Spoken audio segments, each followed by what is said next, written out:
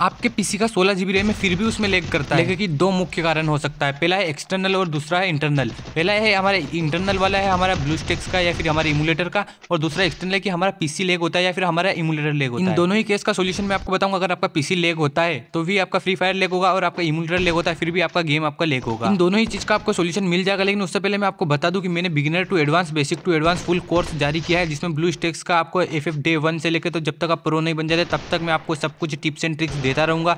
इसलिए इस चैनल को सब्सक्राइब कर दो और बेल नोटिफिकेशन को ऑल पर सेट कर दो क्योंकि जैसे अपडेट मिलेगा मैं आपको बता दूँ जो भी लोग गूगल प्ले बिटा से या फिर न्यू पीसी प्लेयर है उनके लिए ये कोर्स बहुत ही हेल्पफुल होने वाला है। तो चलिए अभी हम इस वीडियो में आपको लेग फिक्स के बारे में बता पहले हम बात करेंगे इंटरनल कन्फिगेशन की जो कि ब्लू स्टेक्स की सेटिंग पर होने वाला लेग फिक्स के ऊपर बहुत ज़्यादा ही वीडियो बन रखे लेकिन लेग फिक्स की सलाह भी कौन देता है? जो खुद बहुत महँगे महँगे डिवाइस में खेलते हैं वो आजकल लेग फिक्स की सलाह देते हैं। आप मेरे को देखो मेरी खुद की आठ जीबी तो मैं आपको सही सोल्यूशन बताऊँगा। जिनका खुद का बहुत बड़ा बड़ा पीसी रहता है वो आपको लेग फिक्स की देते हैं। उनके तो पीसी में लेग नहीं होता और वो आपकी लेग फिक्स की सलाह देते हैं। तो उनकी आपको बिल्कुल भी नहीं सुननी मैंने बहुत सारे यूट्यूबर को देखा वो बोलते हैं आपका सीपीयू एलोकेशन को कोर को कम रखिए तो ज़्यादा अच्छा है नहीं नहीं आपको बिल्कुल हाई पे जितना टॉप दे रखा है उसी पे आपको हाई रखना है।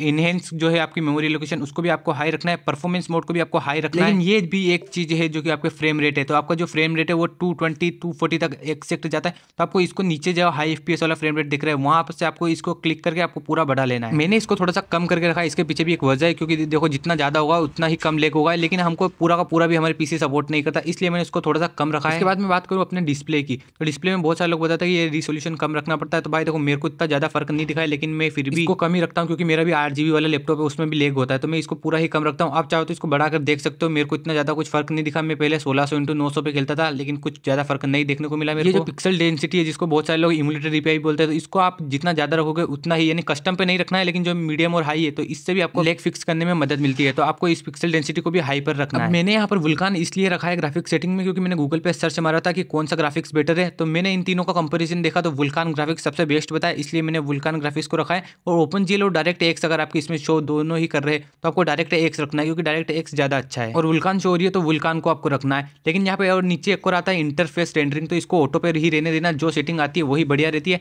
तो आपको इस पर ऑटो पे रखना है। नीचे A S T C tex beta है।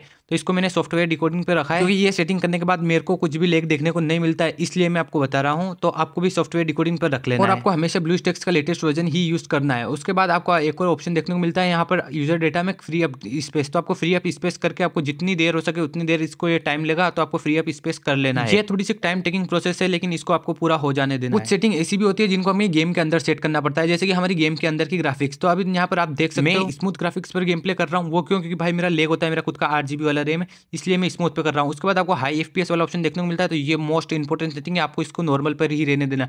अगर आप इसको हाई एफपीएस पे करते हो तो आपको बहुत ज़्यादा लेग करने को मिलेगा इसलिए आप इसको हाई एफपीएस पे आपको नॉर्मल ही रखना है। और अगर आप स्टैंडर्ड या अल्ट्रा ग्राफिक्स पे खेलते हो तो यहाँ पर एक और ऑप्शन देखने को मिलता है हाई रिजोल्यूशन तो आपको उसको भी नॉर्मल पर ही रखना मैंने एक और चीज़ जो नोटिस करी है वो है कि हम जो हमारे जो फ्री फायर ब्लू स्टेक्स की खेलते हैं तो जो इसकी विंडो रहती है इसकी साइज़ को हम जितना बड़ा करेंगे उतना ही ज़्यादा लेग होता है। तो मैं आपको प्रीफर करूँगा कि इसको भी थोड़ा छोटा साइज़ में लेकर खेले। मानो या ना मानो इससे फ़र्क पड़ता है वो इसलिए आप इसकी साइज़ को छोटा करके खेलो। अब जो भी लैपटॉप यूज़र है वो अपना लैपटॉप चार्ज पर लगाकर ही गेमिंग करे। इससे आपका hundred and one percent guaranteed आपका लेग फिक्स हो जाएगा। हाँ भाई सिर्फ़ चार्ज पर लगाने से। इसके बाद जो आपके पीसीआई लैपटॉप के अंदर की सेटिंग करनी है इसके लिए मैंने ये वाला वीडियो बना के रखा और इसके अलावा एक और मेरी प्ले लिस्ट है fire all emulator lag fix तो वो वाली प्ले लिस्ट आप ज़रूर जाकर देख लेना और ये वाले वीडियो आप ज़रूर ही देख लेना। इससे हंड्रेड एंड वन परसेंट आपको सोल्यूशन मिलेगा। क्योंकि एक ही एक स्टेप में आपको हर वीडियो में बताऊँगा तो कुछ मतलब नहीं निकलेगा। इसलिए आप ये वाला वीडियो ज़रूर जाकर देख लेना। फ़िलहाल आज के वीडियो में बस इतना ही लेकिन आप हमारी beginner to advance basic to advance play का हिस्सा बनो। और भी मेरे अदर्स वीडियो इसी टॉपिक पर है तो आप वो वीडियो भी जाकर ज़रूर देख लेना। आज की वीडियो में बस इतने अगर आपको ये वीडियो अच्छी लगी तो इस वीडियो को लाइक और चैनल को सब्सक्राइब करके जाना। Thanks for watching